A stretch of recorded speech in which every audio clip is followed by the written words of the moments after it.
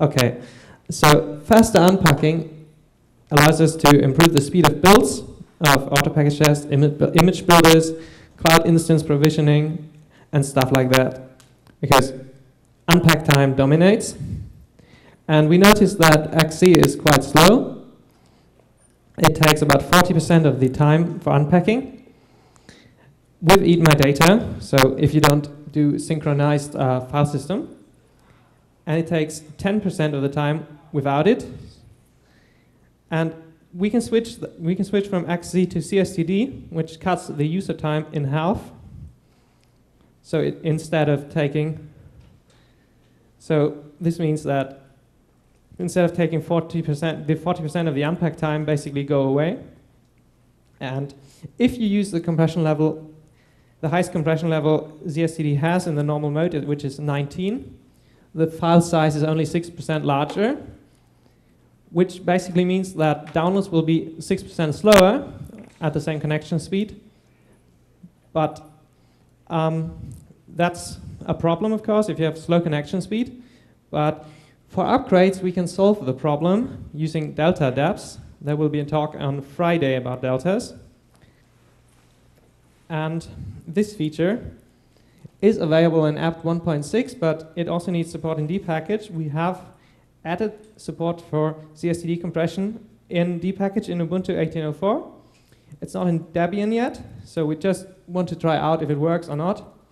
If it does, we'll support it, and if not, we'll just drop it eventually. And another thing we were working on, which some of you might have noticed, is um, locking. So sometimes, you know, when you're on apt, in the middle of the transaction, you get dpackage error, dpackage status database is locked by another process. The reason for that is that we currently have a race condition. So when you run an apt install, apt first acquires the dpackage lock, and then before it executes dpackage, it has to release the lock. Um, and after dpackage ends, it has to acquire the lock again. So in these two uh, cases, before the dpackage, before dpackage acquires the lock and after dpackage releases it and we relock it, the lock is lost and another process can run and block our block us from uh, running dpackage again. And the solution for that is to introduce another log file, which is the log front end log, and apt and dpackage both acquire the uh, front-end lock normally, but if dpackage is run by apt or another front-end implementing this, um, apt tells it to not run, to not acquire the front-end lock. So apt will always keep the front-end lock locked, and dpackage will lock its normal lock. So if you have another dpack, uh, you want to run dpackage in parallel in another uh, app or you want to run it on your own, then dpackage will notice that the front-end lock is still locked by apt and will not run, which means that your apt process is safer now and should not be interrupted by concurrent dpackage runs. And we implemented this in, it's implemented in dpackage Git, uh, the current master branch, and it should be released soon in dpackage 1.19.1 and patches for apt, Python apt, PackageKit, and other tools will be coming later. They're mostly ready, but they still need some fine tweaking. Yeah? Can you go? I think. There's a mic. So I'm curious if, uh, if I'm not rude, do I still need all that locking? Well, if you're not root, you don't lock normally. But if, say I'm running the upgrade in one window and another window I'm not root, can I run that non-root queries without being locked? You can run the non-root queries. Sometimes you get weird results because it's in an inconsistent state, but mostly it's going to be fine. Um, that's basically the same as it is now. And the next thing that I talked about last DebConf was uh, seccomp sandboxing. So we added seccomp sandboxing last year for uh, our downloading methods because there's a lot of dangerous stuff in there, like TLS uh, and HTTP parsers. So we're working with untrusted input, and we want to ensure that it can do the least damage possible if it's compromised somehow. And seccomp sandboxing allows us to restrict the syscalls that can be executed, and other sys then we can then we can sys then we can make other syscalls. We can trap them, or we can abort the program, or we can make other syscalls return an error. And this works fine for some programs, but if you have a libc, if you use libc, it's getting a bit complicated, and you do networking because um, there are NSS modules in libc which allow you to have custom DNS resolving features, and they can use different syscalls. So you could use like POSIX IPC in your uh, NSS module for looking up DNS servers using a local IPC uh, server, and then we have the syscall blocked and it's not working. And some code in the libc also calls some unexpected syscalls sometimes. And if we're not prepared for those, the app, the, uh, app just crashes basically. It, it uh, traps the error currently and then you can't download anything, which obviously is a bit bad. So earlier this year I turned it off again. And I'm trying to uh, figure out how to turn it on again. And handling the failures, I think we're probably going to uh, make the syscalls return a permission error instead of uh, doing the trapping we do now, which means that if the syscall fails, it allows it to uh, the program to uh, work around it and ignore the error. Like if it can't access its files, it can just use defaults or something like that, which should make uh, the whole sandboxing a bit more stable. It was what I did originally, but it has the disadvantage that uh, you can't uh, figure out which syscalls are being blocked because you just see, uh, because you just get the permission errors and not just a straight crash which you can debug. The next thing is related to HTTP method and other methods. And basically, you might have noticed that if you have used uh, Google Cloud, for example, which has uh, IPv6 disabled by default because apt used to have apt used to resolve um, apt used to connect uh, to the addresses returned by the DNS resolver sequentially. So tried the first IPv6 address, then the second IPv6 address, and so on uh, before it tried the IPv4 addresses. And the timeout between the tries was two minutes. So if you have four IPv6 addresses, it would take eight minutes to fall back to IPv4, which obviously is too slow to be usable. And those uh, some clouds and stuff overrode this and disabled IPv6 handling in apt. And we can solve this. We solved it in 1.6 by switching to a new protocol, which is Happy Eyeballs 2, or it's not entirely compliant to the uh, specification, but it works quite well. So what we did here is instead of trying to connect after each other, we start we start first by reordering the list. So we alternate between the IPv6 and the IPv4 addresses. So we try IPv6 address, then an IPv4 address, then an IPv6 address, then an IPv4 address. But instead of doing it sequentially, we do it concurrently. So we start with the first address, and then every 250 milliseconds, we add another address and we try them all in parallel using the select syscall. And the first address that can connect is used as, a, as the connection, and the other connection attempts are aborted by closing the file descriptors. And if none of them connect immediately in these 250 milliseconds, we get to a final wait for all scenario where we wait 30 seconds before timing out. And this basically allows us to uh, fall back from IPv6 to IPv4 in 250 milliseconds, which makes the whole thing much easier to use and avoids having to disable IPv6 and apt on uh, images and stuff like that. Another feature we've been working on very recently um, is this one. Yeah.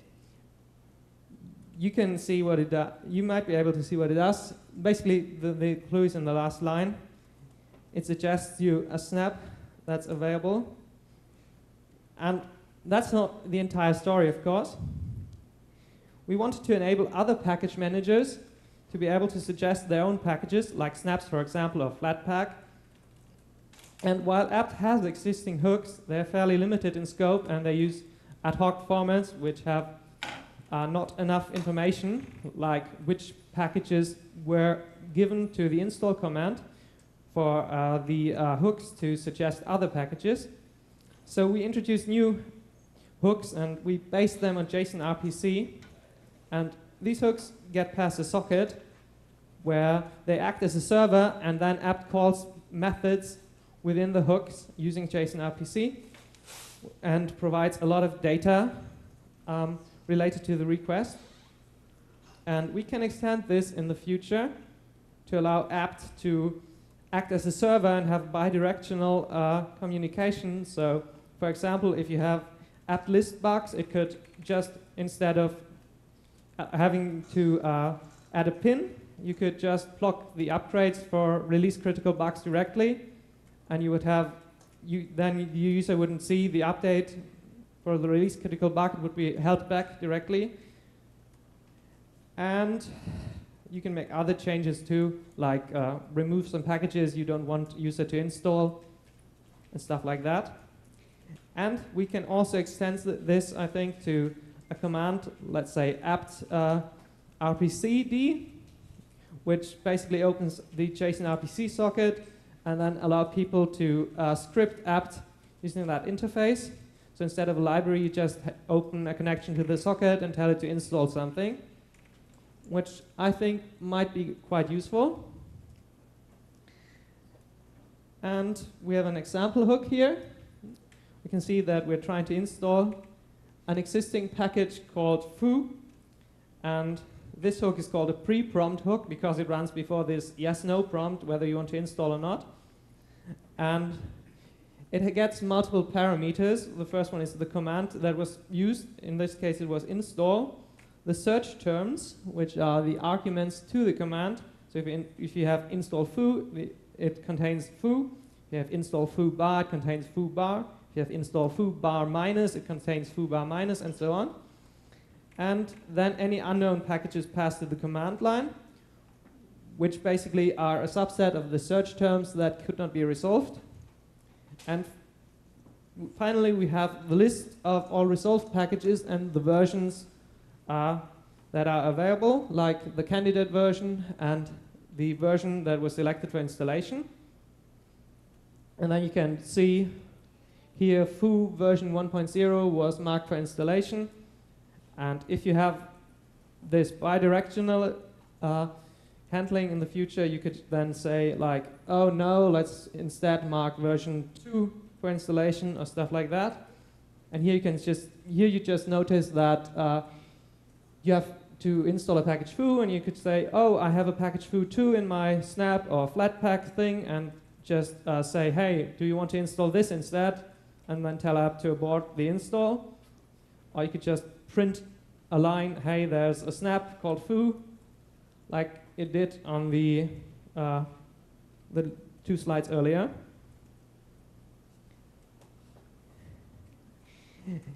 And we also have another thing I've been working on, uh, I think last month or so, which is a new solver, because our solver sucks. So we can't find solutions, although they exist, and we see that in uh, unattended upgrades, I think, a lot, where you get the error message uh, in the title, which is package problem resolver resolve generated breaks. This might be caused by held packages. So to solve this, we already have these external solvers like aspcud and stuff.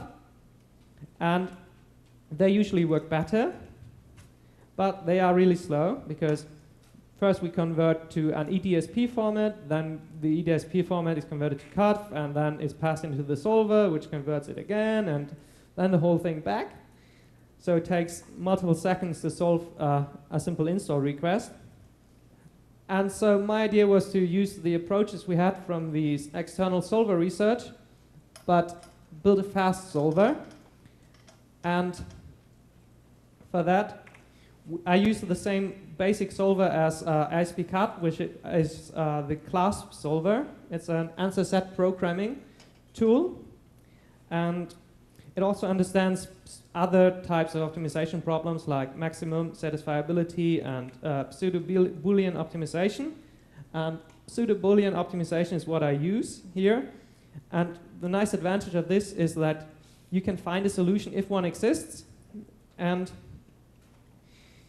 it, the one goal I have is to try to behave as close to the current solver as possible, which means I'm preferring first choices in OR groups. I want to install recommends when available. And also, if I have non-candidate versions that are necessary, I want to be able to uh, install those non-candidate versions, but try to maximize the candidates that are installed, which allows us to have auto-package tests that pull as much as possible from testing and then pull the fewest amount of packages needed uh, to satisfy the dependencies from unstable, which will be really useful, I think.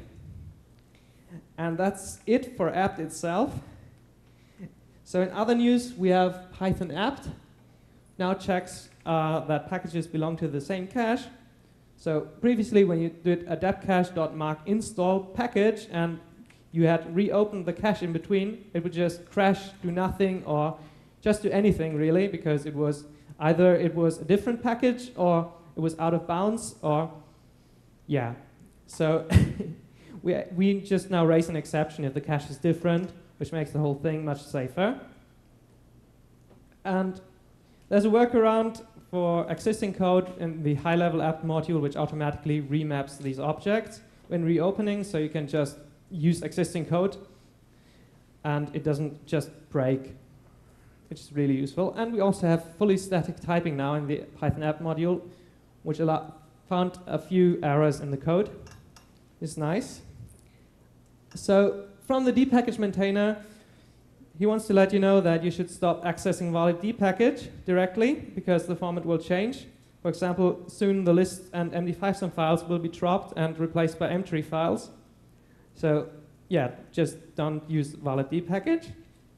And Aptitude has a new release now, and it also builds faster than it used to. So it saves times on the buildds. Yay! And for the PackageKit land, we now can remove uh, automatically remove related unused dependencies when it, when uh, uninstalling a package, which helps uh, avoid cluttering your system with packages you no longer need. You, you don't you no longer need. and uh, finally, there will be a talk on Delta Debs on Friday, which you might want to attend. And that's it from me If you have any questions, I don't think we have a lot of time, like one minute or two. So if you want to ask a question, go to the mic and ask. Or just come after the talk. Thank you.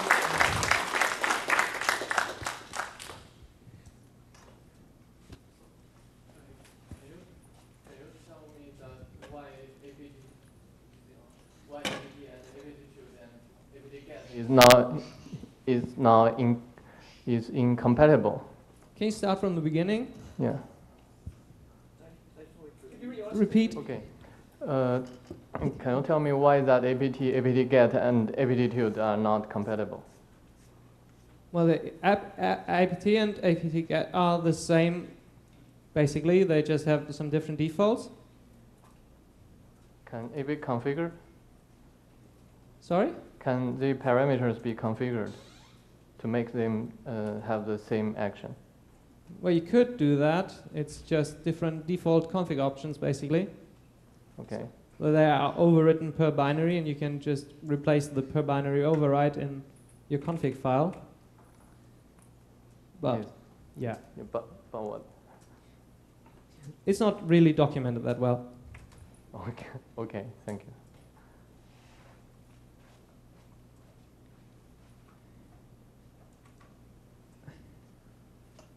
Okay, that's it.